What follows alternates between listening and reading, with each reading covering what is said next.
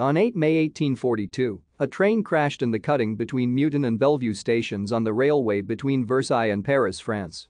The train was traveling to Paris when it derailed after the leading locomotive broke an axle and the carriages behind piled into it and caught fire.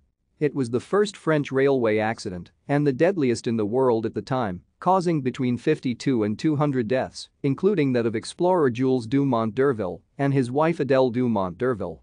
The accident led the French to abandon the practice of locking passengers in their carriages.